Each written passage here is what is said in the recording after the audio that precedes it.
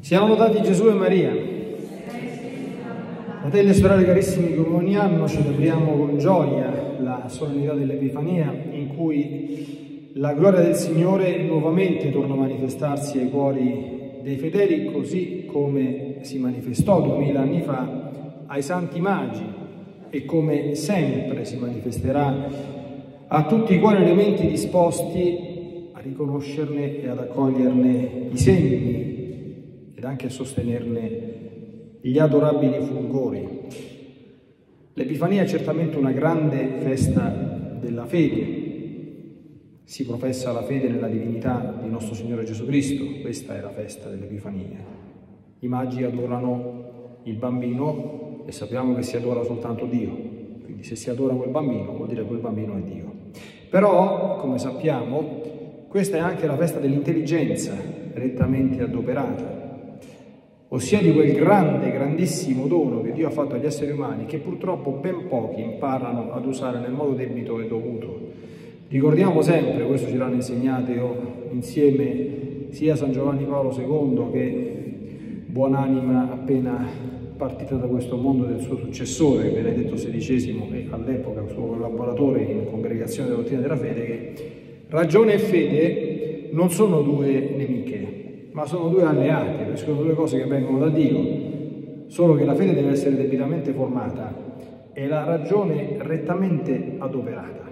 Se ci sono queste due cose si realizza un grande sposalizio, altrimenti ci sono problemi di vario genere che certamente non è un'omelia la sede opportuna per, per affrontarli, ma sono molto molto grandi. Ora la Chiesa è sempre stata dalla parte della retta ragione, cioè della ragione fatta ben funzionare correttamente, onestamente e santamente. Infatti, come tutti quanti i doni di Dio, e pensate che la ragione fa di noi esseri umani simili a Dio, cioè noi abbiamo l'anima spirituale, per questo che ragioniamo. I nostri animaletti, carucci, compagni di vita domestici, sono tanto affettuosi, sono tanto buoni, ma la ragione non ce l'hanno. È per questo che non parlano. Sapete che gli animali parlano soltanto nei graziosi fumetti animati di Walt Disney, che sono tanto carini alcuni, eh, però parlano soltanto lì, perché la ragione non ce l'hanno.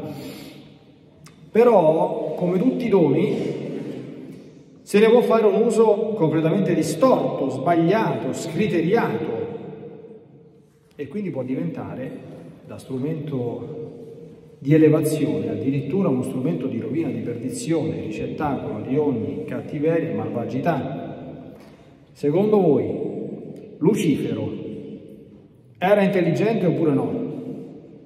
Era più intelligente di tutti. e che era fatto dell'intelligenza? Un guaio, no? Un boss, secondo voi, della, della, della Camorra o della mafia o un narcotrafficante per poter gestire una cosa del genere, secondo voi è intelligente oppure no? È stupido? No, ma certamente non stanno facendo un uso corretto della religione, della, della ragione, così come i cosiddetti scienziati razionalisti e scientisti, che certamente non sono stupidi, ma non fanno un uso retto e corretto della ragione. Quindi dall'uso retto e corretto della ragione escono fuori magi, cioè persone che pur non essendo credenti arrivano alla fede e ad adorare il Signore. Dall'uso scriteriato della ragione escono fuori i più grossi disastri che siano mai successi. La caduta degli angeli ribelli, l'inizio dell'inferno e la caduta di tanti esseri umani che da esseri umani si trasformano in una sorta di demoni incarnati. I magi infatti non erano credenti, e non erano nemmeno ebrei, quindi non c'avevano nessuna profezia che potesse aiutarli. Non potevano, ovviamente, meno che mai, essere cristiani, perché i cristiani ancora non c'erano. Appartenevano alla categoria di quegli uomini che, come abbiamo cantato nel Gloria, lodati dagli angeli il giorno della nascita di Gesù, sono uomini di buona volontà. Cioè, chi? Cosa fanno? Erano persone a quanto pare potenti, erano dei re, ricche, intelligenti, che però fecero la scelta, ecco perché di buona volontà, di impiegare l'intelligenza non a cose dannose o inutili, ma alla comprensione degli arcani e dei misteri che accadevano sotto i loro occhi e che per questo giunsero ad adorare il Signore dell'universo e il promesso Messia. Furono guidati dalla stella, hanno semplicemente fatto degli studi astronomici per capire cos'era quel misterioso astro, anche qui non c'è tempo di approfondire, andate a fare le ricerche online vedrete che quando è nato Gesù questa cosa è successa veramente, c'è stato questo astro straordinario, quindi loro sono riusciti a decodificare che cosa quell'astro rappresentava a seguirli e arrivare. Questa è un'operazione intellettuale, intelligente. Ecco.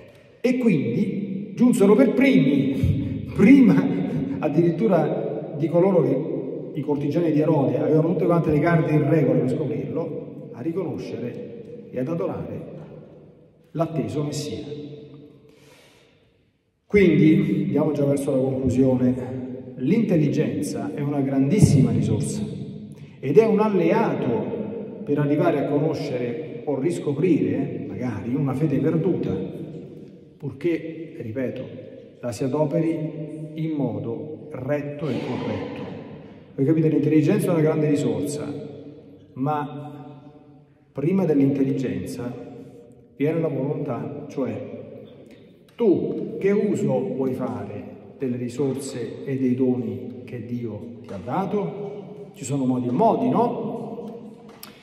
Si potrebbe per esempio stancare l'intelligenza, come fanno alcuni dei personaggi oscuri che ho citato prima, per escogitare modi per fare sempre più soldi.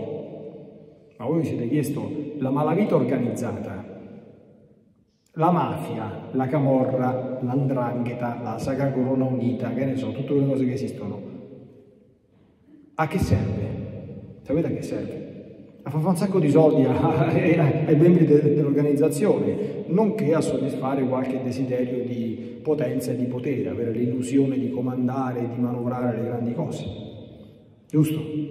Quindi soldi, oppure applicare l'intelligenza per ordire trame e inganni per conservare o accrescere il potere. Questo veramente lo fanno anche persone non appartenenti alla malavita organizzata, eh, possono farlo anche persone molto molto comuni per poteri temporali e speriamo non anche per altri, ma purtroppo la storia fa venire il sospetto che siano state fatte queste cose anche per conservare altri tipi di, di potere oppure la si può addirittura umiliare, la nostra ragione, e mortificare, rendendola strumento, e oggi abbiamo un'ampia panoramica di questo, per la ricerca e la creazione di strumenti sempre più raffinati atti a trarre godimento dai piaceri dei sensi, anche i più bassi.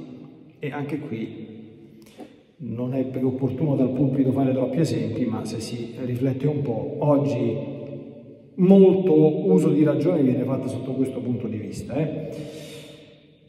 Quindi con la ragione ancora si può progettare come nuocere al prossimo, si possono escogitare raffinate vendette quando qualcuno ci ha fatto del male, la si può scomodare per inventare scappatoie e sotterfugi per svicolare dei propri doveri no? e responsabilità o per giustificare ogni malefatta o cattivazione.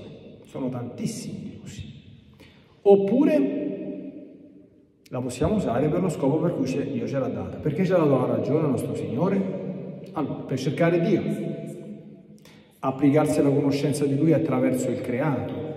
Voi sapete che la Chiesa ha insegnato nel Concilio Vaticano I, non esiste solo il Concilio Vaticano II, eh, esiste anche il Concilio Vaticano I, che, attenzione, eh, l'intelligenza umana, anche senza la luce della se si applica bene a guardare quello che ci sta intorno, può arrivare con certezza, eh, con certezza morale, ad affermare che Dio deve esistere.